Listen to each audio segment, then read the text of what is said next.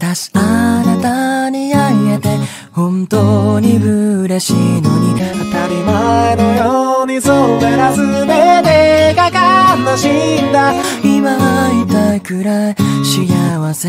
な思い出がいつか来るよ別れを育てて歩く。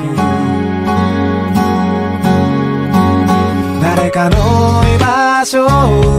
奪い生きるくらいのラバも。私は石ころにでもなれたならいいな。だとしたら勘違いも戸惑いもない。そうやってあなたまでも知らないままで。あなたに私の思いが全部伝わってほしいのに誰にも言えない秘密があって嘘をついてしまうのだあなたが思えば思うよりいくつも私は育児ないのどうしてどうしてどうして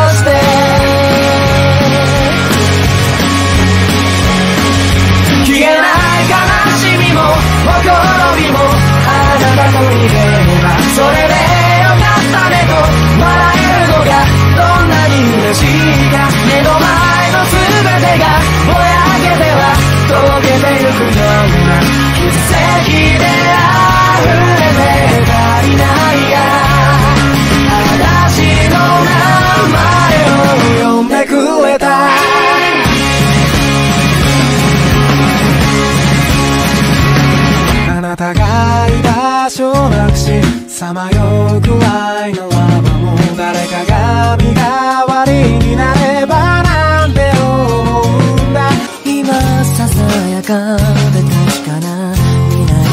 にきっと繰り返しながら笑い合う。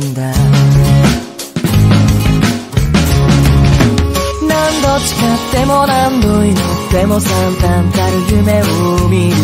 小さな歪みがいつかあなたを飲んで泣きしてしまうようなあなたが思えば思うより大げさに私は不快ないのどうして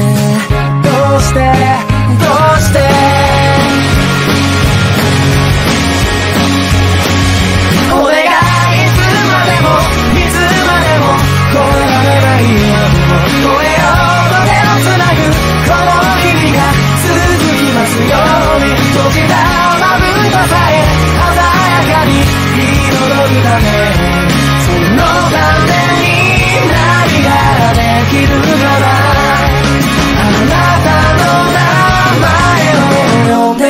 で